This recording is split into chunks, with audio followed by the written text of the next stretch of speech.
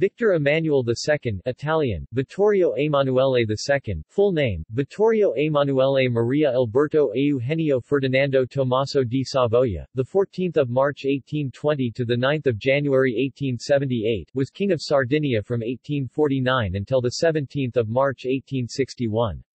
At that point, he assumed the title of King of Italy and became the first king of a united Italy since the 6th century, a title he held until his death in 1878. The Italians gave him the epithet of Father of the Fatherland Italian, Padre della Patria. The monument Altare della Patria, or Vittoriano, in Rome was built in his honor. Biography Victor Emmanuel was born as the eldest son of Charles Albert, Prince of Carignano, and Maria Teresa of Austria. His father succeeded a distant cousin as King of Sardinia-Piedmont in 1831.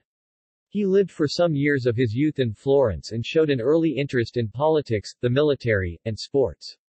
In 1842, he married his cousin, Adelaide of Austria. He was styled as the Duke of Savoy prior to becoming King of Sardinia-Piedmont. He took part in the First Italian War of Independence 1848-1849, under his father, King Charles Albert, fighting in the front line at the battles of Pastrengo, Santa Lucia, Goito and Custoza. He became King of Sardinia-Piedmont in 1849 when his father abdicated the throne, after a humiliating military defeat by the Austrians at the Battle of Novara. Victor Emmanuel was immediately able to obtain a rather favorable armistice at Vignale by the Austrian Imperial Army commander, Radetzky. The treaty, however, was not ratified by the Piedmontese lower parliamentary house, the Chamber of Deputies, and Victor Emmanuel retaliated by firing his prime minister, Claudio Gabriele de Launay, replacing him with Massimo D'Azeglio. After new elections, the peace with Austria was accepted by the new Chamber of Deputies. In 1849, Victor Emmanuel also fiercely suppressed a revolt in Genoa, defining the rebels as a vile and infected race of canaglie. In 1852, he appointed Count Camillo Benso of Cavour, Count Cavour, as Prime Minister of Piedmont Sardinia. This turned out to be a wise choice, since Cavour was a political mastermind and a major player in the Italian unification in his own right. Victor Emmanuel II soon became the symbol of the Risorgimento, the Italian unification movement of the 1850s and early 60s. He was especially popular in the Kingdom of Sardinia-Piedmont because of his respect for the new constitution and his liberal reforms. Crimean War Following Victor Emmanuel's advice, Cavour joined Britain and France in the Crimean War against Russia. Cavour was reluctant to go to war due to the power of Russia at the time and the expense of doing so. Victor Emmanuel, however, was convinced of the rewards to be gained from the alliance created with Britain and, more importantly, France. After successfully seeking British support and ingratiating himself with France and Napoleon III at the Congress of Paris in 1856 at the end of the war, Count Cavour arranged a secret meeting with the French emperor. In 1858, they met at Plombières-les Bains, in Lorraine, where they agreed that if the French were to help Piedmont combat Austria, which still occupied the Kingdom of Lombardy-Venetia in northern Italy, France would be awarded Nice and Savoy. Wars of Italian unification The Italo-French campaign against Austria in 1859 started successfully. However, sickened by the casualties of the war and worried about the mobilization of Prussian troops, Napoleon III secretly made a treaty with Franz Joseph of Austria at Villafranca whereby Piedmont would only gain Lombardy. France did not as a result receive the promised Nice and Savoy, but Austria did keep Venetia, a major setback for the Piedmontese, in no small part because the treaty had been prepared without their knowledge. After several quarrels about the outcome of the war, Cavour resigned, and the king had to find other advisers. France indeed only gained Nice and Savoy after the Treaty of Turin was signed in March 1860, after Cavour had been reinstalled as prime minister, and a deal with the French was struck for plebiscites to take place in the central Italian duchies. Later that same year, Victor Emmanuel II sent his forces to fight the papal army at Castelfidardo and drove the Pope into Vatican City. His success at these goals led him to be excommunicated from the Catholic Church. Then, Giuseppe Garibaldi conquered Sicily and Naples, and Sardinia-Piedmont grew even larger. On 17 March 1861 the Kingdom of Italy was officially established and Victor Emmanuel II became its king. Victor Emmanuel supported Giuseppe Garibaldi's expedition of the Thousand 1860-1861, which resulted in the rapid fall of the Kingdom of the Two Sicilies in southern Italy. However, the king halted Garibaldi when he appeared ready to attack Rome, still under the Papal States, as it was under French protection. In 1860, through local plebiscites, Tuscany, Modena, Parma and Romagna decided to side with Sardinia-Piedmont.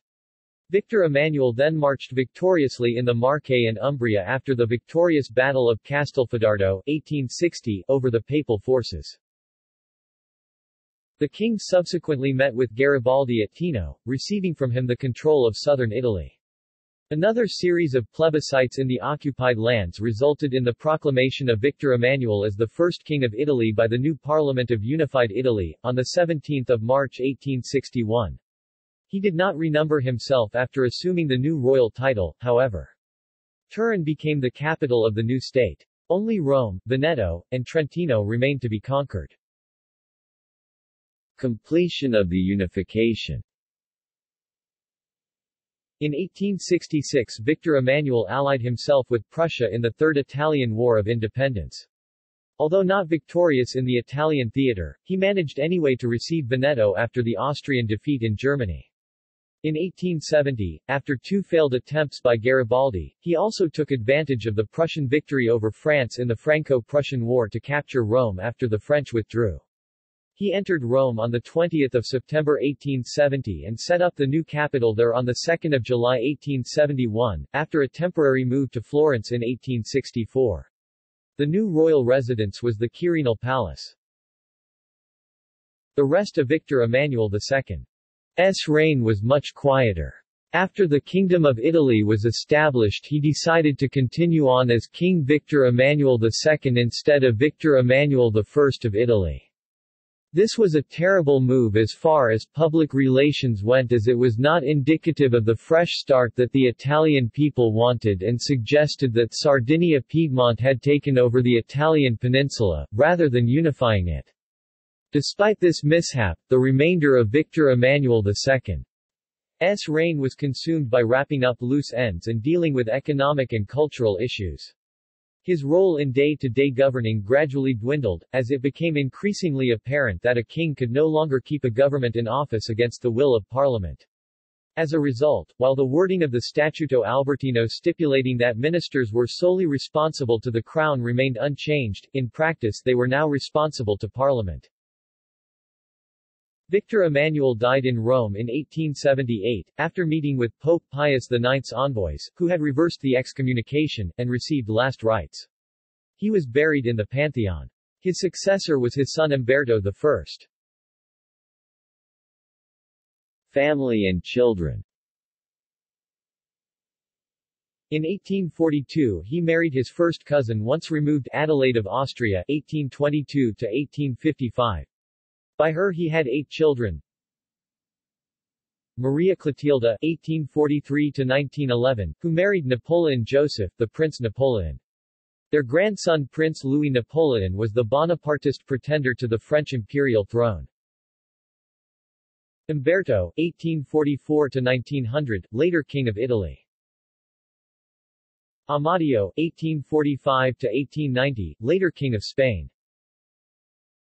Oddone Eugenio Maria (1846–1866), Duke of Montferrat. Maria Pia (1847–1911), who married King Louis of Portugal. Carlo Alberto, the 2nd of June 1851 to the 28th of June 1854, Duke of Chablais. Vittorio Emanuele, the 6th of July 1852 to the 6th of July 1852. Vittorio Emanuele, the 18th of January 1855 to the 17th of May 1855, Count of Geneva. In 1869, he married morganatically his principal mistress Rosa Vercellana, the 3rd of June 1833 to the 26th of December 1885. Popularly known in Piedmontese as Bella Rosin. She was born a commoner but made Countess of Mirafiori and Fontanafredda in 1858. Their offspring were Vittoria Guerrieri, the 2nd of December 1848 to the 29th of December 1905, married 3 times and had issue. Emanuele Alberto Guerrieri, the 16th of March 1851 to the 24th of December 1894, Count of Mirafiori and Fontanafredda, married and had issue. In addition to his morganatic second wife, Victor Emmanuel II had several other mistresses. Virginia Oldoini, Countess of Castiglione, who, as the mistress of Napoleon III, pleaded the case for Italian unification. Laura Bonnet Stupanigi, who bore him two children. Stillborn son 1852. Emanuela Maria Alberta Vittoria di Roverbella, the 6th of September 1853 to 1880-1890. Virginia Rowett Turin, mother of two children. Vittorio di Rho, 1861 Turin, the 10th of October 1913. He became a notable photographer. Maria Pia di Rho, the 25th of February 1866 Vienna, the 19th of April 1947. Unknown mistress at Mondovi, mother of Donato Etna, the 15th of June 1858 Turin, the 11th of December 1938. He became a much decorated soldier. Baroness Vittoria Duplessis, who bore him a daughter, perhaps named Savoyarda. She died as an infant. Titles, styles and honors Titles and styles the 14th of March 1820 to the 27th of April 1831, His Royal Highness Prince Victor Emmanuel of Savoy, Vittorio Emanuele di Savoia, the 27th of April 1831 to the 23rd of March 1849, His Royal Highness the Prince of Piedmont. The 23rd of March 1849 to the 17th of March 1861, His Majesty the King of Sardinia. The 17th of March 1861 to the 9th of January 1878, His Majesty the King of Italy. Honors. Italian. Grand Master of the Supreme Order of the Most Holy Annunciation. Grand Master of the Order of Saints Maurice and Lazarus. Grand Master of the Military Order of Savoy Grand Master of the Order of the Crown of Italy. Grand Master of the Civil Order of Savoy. Gold Medal of Military Valor. Silver Medal of Military Valor. Medal of the Liberation of Rome 1849 to 1870 Commemorative Medal of Campaigns of Independence Wars. Commemorative Medal of the Unity of Italy Tuscan Grand Ducal Family, Knight Grand Cross of the Order of St. Joseph Foreign Austrian Empire Knight of the Order of the Golden Fleece in 1841. Knight Grand Cross of the Order of St. Stephen of Hungary in 1869. Belgium, Grand Cordon of the Order of Leopold in 1855. Denmark, Knight of the Order of the Elephant in 1861. Second French Empire. Médaille Militaire. Commemorative Medal of the 1859 Italian Campaign. Kingdom of Hawaii, Knight Grand Cross of the Order of Kamehameha I Sweden, Knight of the Order of the Seraphim United Kingdom, Extra Knight of the Order of the Garter in 1855 Ancestry. See also. Unification of Italy. Giuseppe Garibaldi. Giuseppe Mazzini. Count Cavour. September Convention Monument to Vittorio Emanuele II List of famous big game hunters References Sources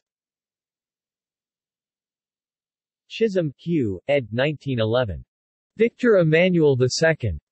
Encyclopaedia Britannica. 28, 11th ed. Cambridge University Press Smith, Denis Mack. Victor Emmanuel, Cavour and the Risorgimento, Oxford University Press, 1971. Thayer, William Roscoe, 1911. The Life and Times of Cavour Volume 1, Old Interpretations but Useful on Details, Volume 1 goes to 1859, Volume 2 online covers 1859 to 62. In Italian